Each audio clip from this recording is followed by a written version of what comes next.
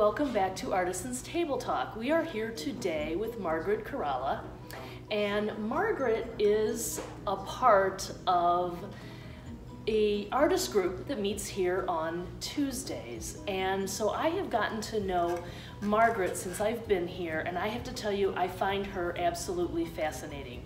And I am so pleased that she has decided and agreed to sit down with me today and talk about her art, her art processes, and her art journey. So I just want to start off by saying thank you so much. You're welcome. For joining us. You're welcome. And tell me a little bit about your just your your art journey. How did you get started? What age were you? You know, just give us a little brief overview. Well, when I was a kid, uh, seventh, eighth grade, something like that, my aunt took me to the Detroit Institute of Arts. And when I saw those paintings and sculptures and prints, I decided I wanted to be an artist. And so that was it. So I did what I could to get pencil and paper, although I used uh, paper bags and a pencil to do drawings on, whatever was available. And as I grew older, I started to take classes, evening classes, because I had to work. I couldn't go to school. So and that's my process. I just kept doing it. Just kept doing it and, and just kept building on the skills that you learned prior. Yes, yes. I mean, I would take a course in woodblock printing.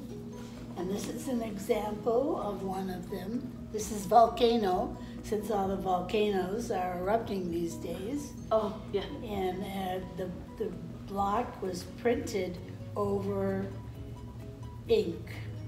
Over ink? Yes. That, that that is the one thing what that I have noticed talking to Margaret is she has such a um, a broad uh, range of skills and um, and talents. It's it's really amazing. And I just you know we're so I'm gonna have her talk a little bit about these pieces because one of the things that I that I that I want to know about because I'm really interested in it is lino cut. Okay, this is the, that, that was That a line. this is a lino cut and explain what that is. Well, you take a piece of linoleum Okay. and you put an image on it. You have to make sure that, say, you want the tree facing that way, you have to reverse it on your lino cut because when you print it, it will print that way. Uh, so if you're doing lettering, you really have to pay. You really sure? Yeah. You really have to pay attention to that. So now, when you say you, put a design on it, are, are you carving it or No, you? not yet. I just put it on pencil. Okay.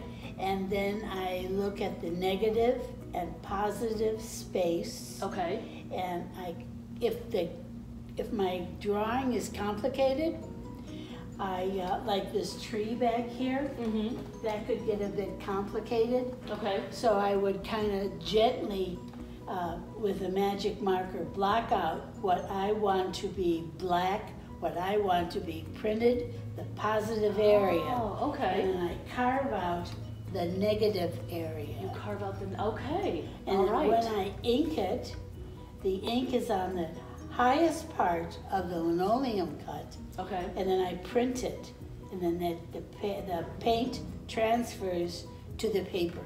To the paper. Interesting. That is. Yeah, I could see where you would get some really cool effects with that. Yes. Yeah, you could get some really, really cool effects. And you said this is as well. This is the same thing. Yes, This, this, yes. Now the black one is the lino cut. These colors are the lino cut. I use two colors, double, uh, dub, two prints, two. Pr- okay. All right. and print it over. And then the back is some ink, just some ink that was on the paper. Very cool. Mhm. Very interesting. So now this is. Now I A know lino I've cut. seen this. This is a lino cut as well. Yes. And this is a selfie that everybody is doing these days. She was the original selfie. Then I put a birthday cake on my head because I wanted to. Um, And uh, there it is. There's the selfie. That's great. With my That's, glasses that's great. hanging down my nose. Yeah, I do. I, I, I did notice the glasses. I like that. So then these pictures behind that we have Yes. is now are these all same process or different or what have we got going on here? Well, this is, um, this is a lino cut. Okay, And then I just added a moon onto here. okay, This is a lino cut of a saint, and I just added gold leaf. okay, This is an etching, Okay. that's a different process. all right, And this is another etching, that's a Okay. different process. This is a lino cut. Okay. I took the lino cut, you know, it'd be really bumpy all over. Uh-huh, So I put a lot of watercolor on Oh. the lino cut. okay, Then I had wet ink. I put paper on top of it. I ran that through a press and it picked up the paper and it also embossed oh, interesting. embossed the uh, the print. So if you can see it, it's all bumpy. Yes, sure, yeah. Yeah, I know it's hard for you guys to see, but it is, it's very textured. Very the, textured. The, the back of that piece is very textured. And now the etchings, how, um, that's a little bit different in Yes. the respect that, Yes. how does that, how does that differ than the lino cut? Uh, well, the etchings here. Is this one? This one is. This is an etching. So I had a plate, and you can see it has a very rough background. Mhm.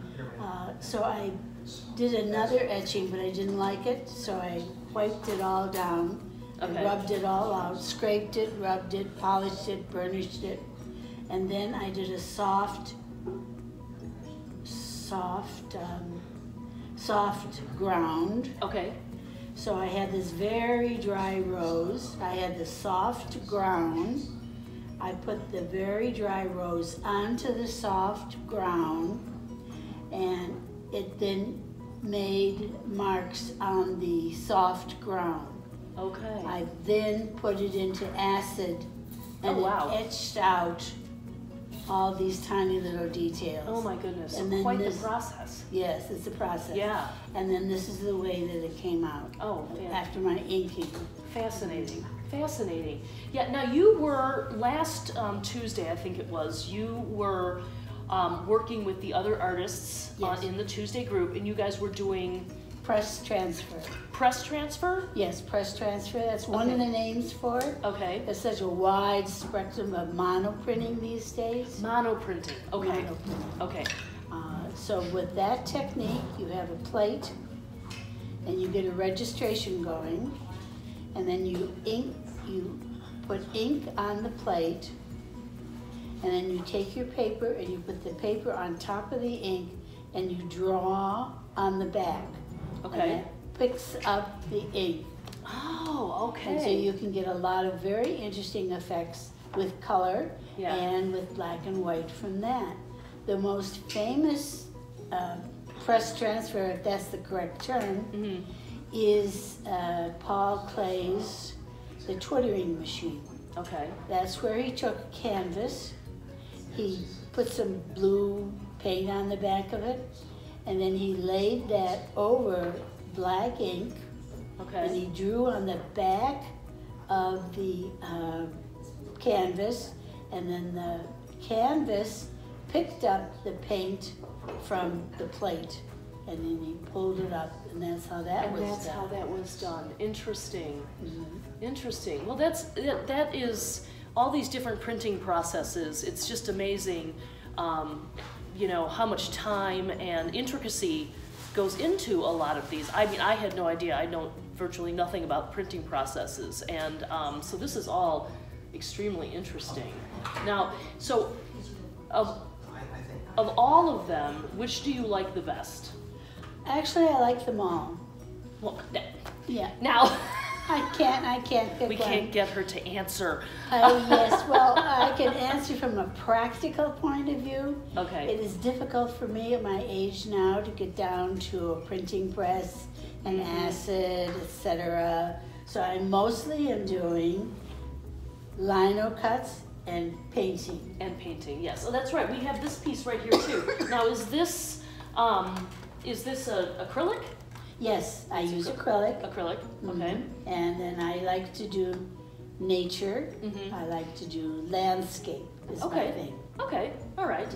So you are so you are focused on on what you. I mean, I noticed we've got we've got a a, a theme of trees going on um, with a lot of these. We have this is nature inspired. Um, so you do draw a lot of your inspiration from just Nature. Nature. Yes, I do. Yes, Yeah. I do. That's nice. That's great.